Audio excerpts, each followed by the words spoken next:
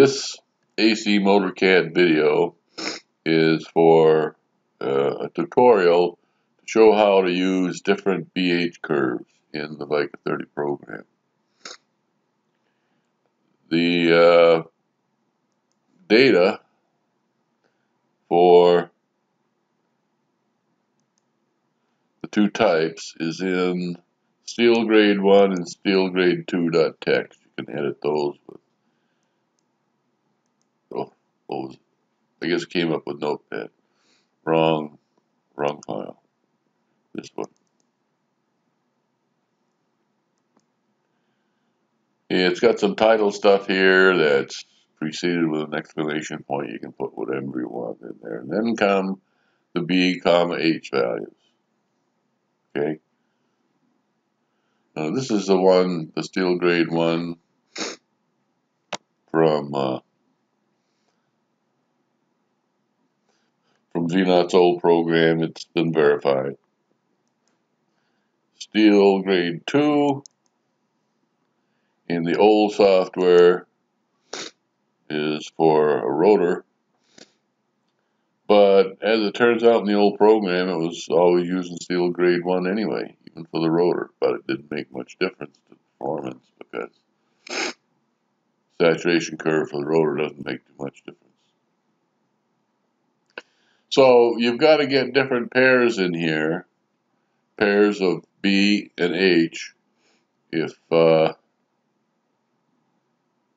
you want to change the BH curve performance of uh, VICA 30, the new, the newest versions. So those are the two files.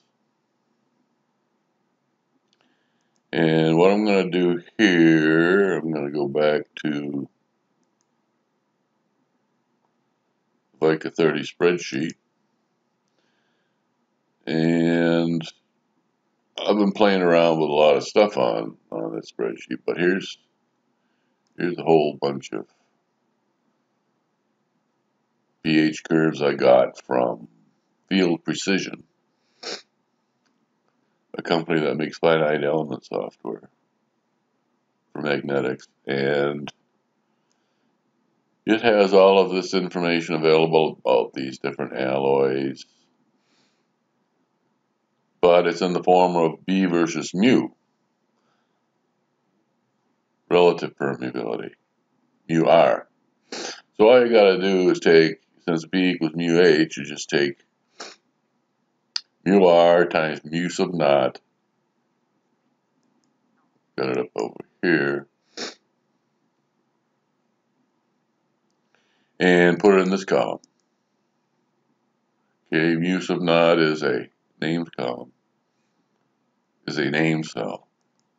See, its name is mu sub naught. So I can say 4 pi, oh, no, that's that's just a constant.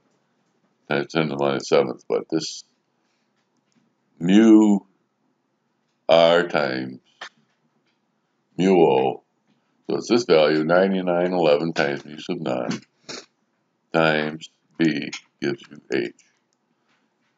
So now what you want, well this is ampere turn per meter as well. So you got to watch out for this. We want to uh, convert that.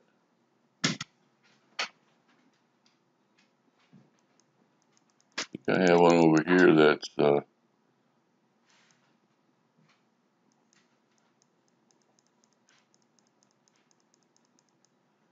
Where the heck is it? Come. No. Well, whatever you've got for your curve, you can type in. You can type in these values.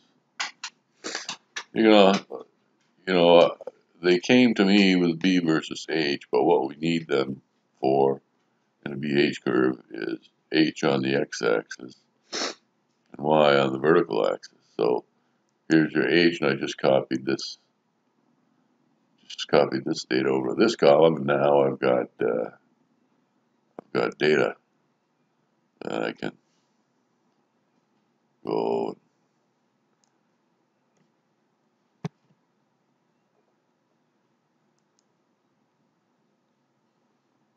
I can paste in the notepad.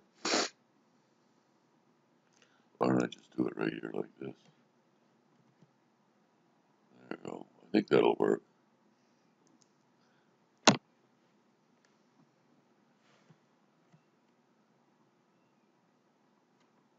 Uh,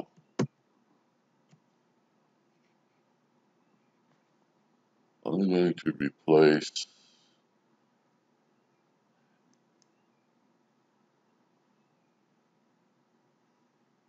the tabs. Can't do it in Notepad. Well,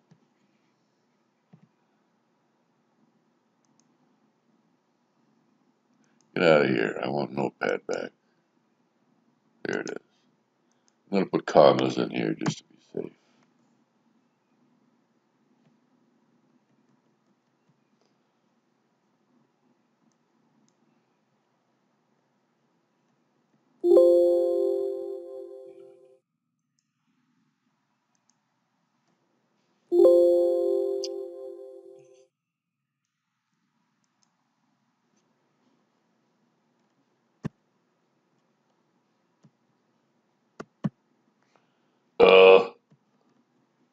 wrong with my fingers?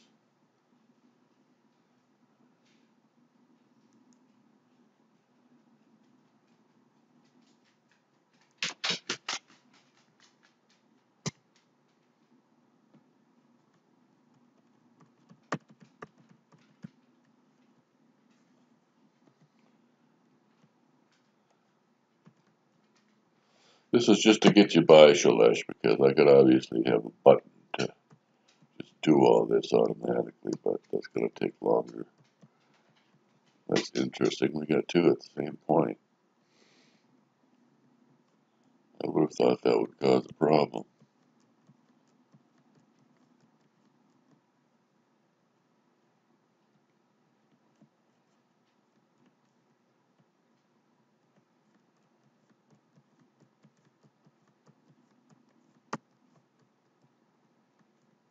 There's.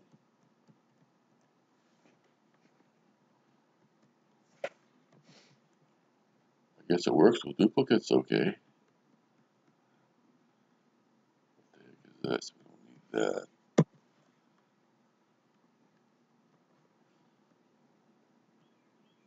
Where was the duplicate?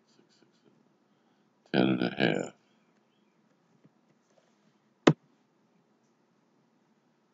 Is per square inch here. This is gauge, the X side has to be ampere turns per inch. Okay, so now I'm gonna go and I'm gonna rename that for fun.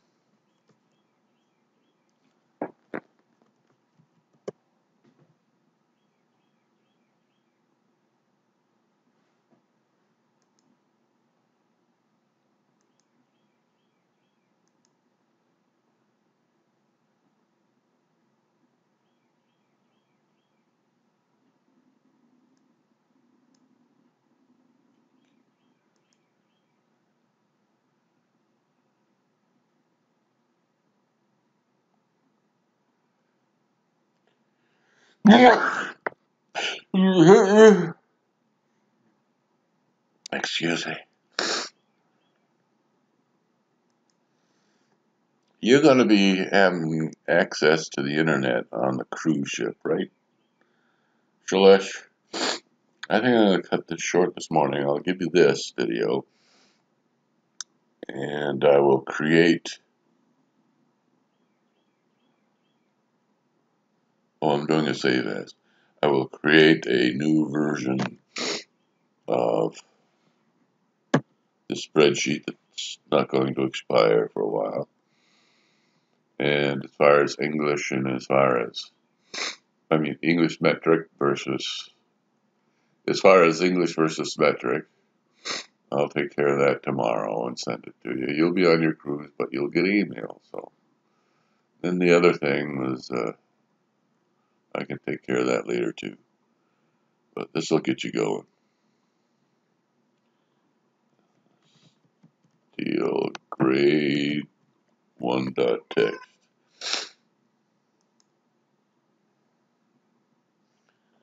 So this is basically got the same data, but if I wanted to, you know, play with this data and increase the X column or increase the Y column or something, then I could change my BH curve. That's what you want to do. You want to try putting an M36 with a few extra points. Uh, put in M36 with its B versus H points and try that, for example. Okay, so that's it for BH curves. I suppose I should run it to make sure I didn't mess something up.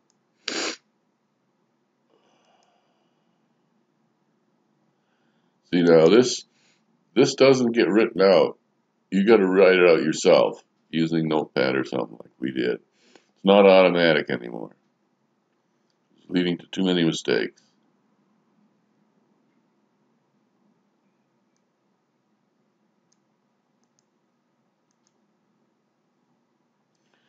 Yeah, this is still having a sizing problem too. But you can always do this.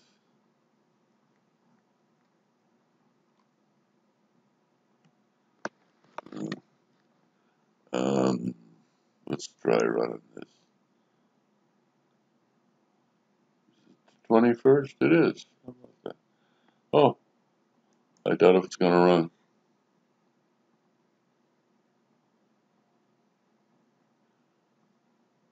Alright, let's see if it runs. Well, yeah, Vica 30 will because there's no expiration on the Vica 30. All in the spreadsheet. What's going on here? A lot of flickering going on. Okay, runs complete. And now it automatically goes and gets the data that was.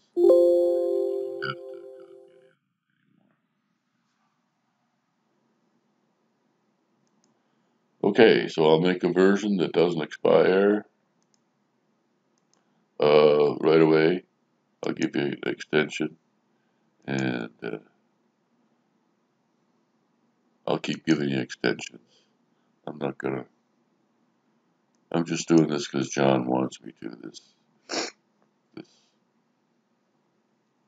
this uh, expiration date on this because he's afraid program will get out there and people will be using it without paying for it. So that's why I'm doing it. All right, Shailesh, have a good trip. I hope I started recording. Yes, I did. Thank goodness.